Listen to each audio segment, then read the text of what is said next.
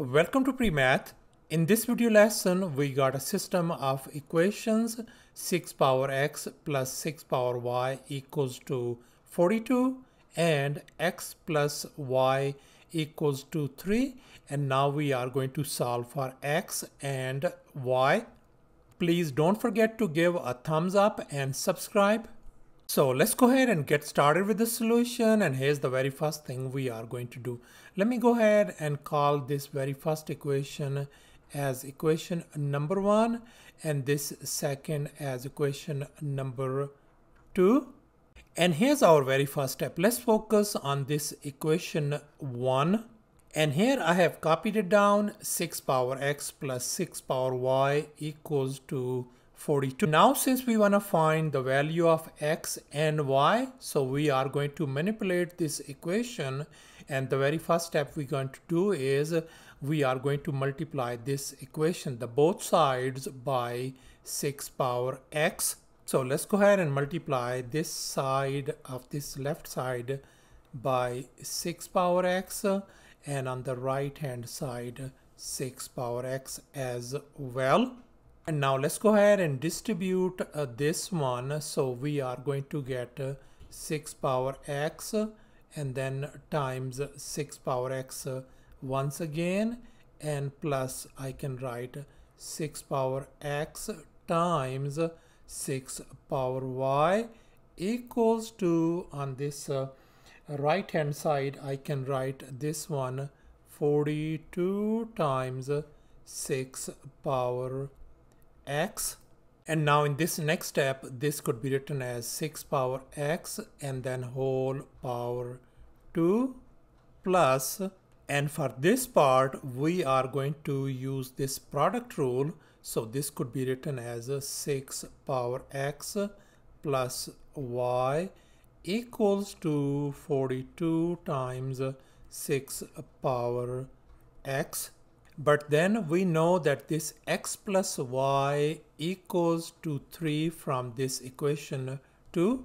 So therefore I am going to replace this x plus y by 3.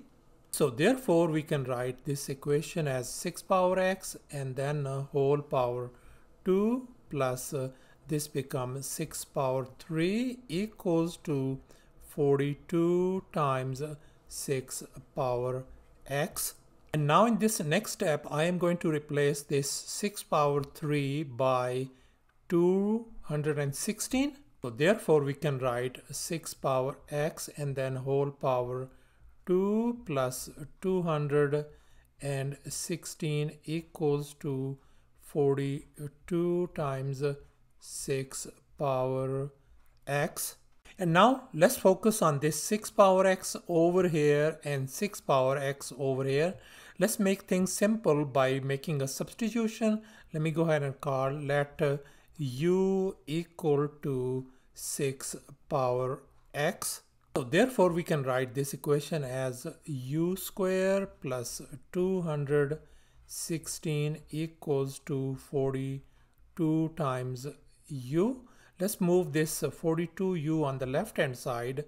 So we can write this one as u square minus 42u plus 216 equal to 0. And now we can see that this is a quadratic equation and we are going to solve it by factoring.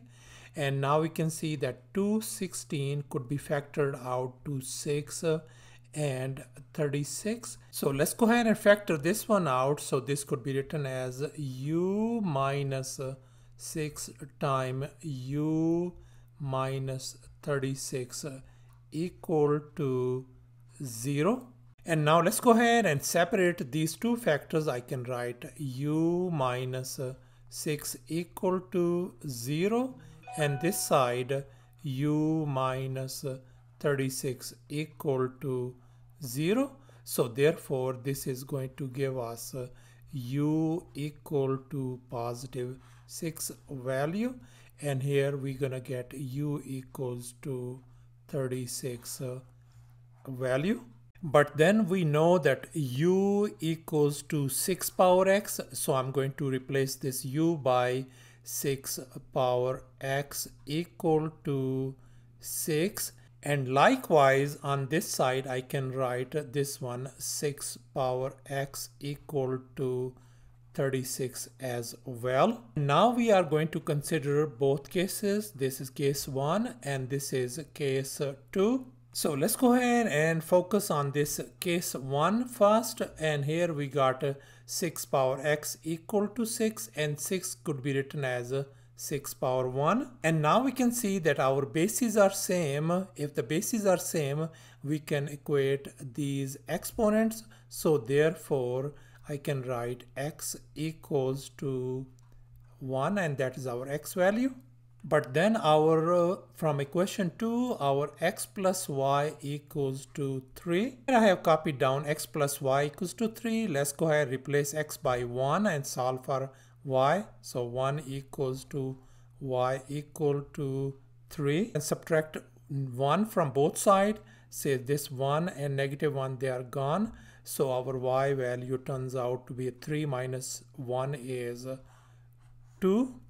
So thus in case 1 our x value turns out to be 1 and y is 2. I can write down x equal to 1 and y equals to 2 value. And now let's focus on our case 2, 6 power x equal to 36 and we can write 36 as 6 power 2. So therefore we can write 6 power x equals to 6 power 2 and now we can see that our bases are same so therefore we can equate our exponents as well so therefore I can equate this x equals to 2 so therefore our x value turns out to be 2 and now we need to find the y value and we know that x plus y equals to 3 from this equation 2 and here I have copied it down x plus y equals to 3 let's go ahead and replace x by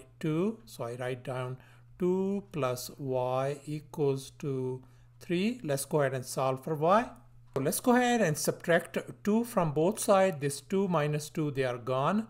So our y value turns out to be simply 3 minus 2 is 1. Now we can see in this case 2, our x value is 2 and y value is 1.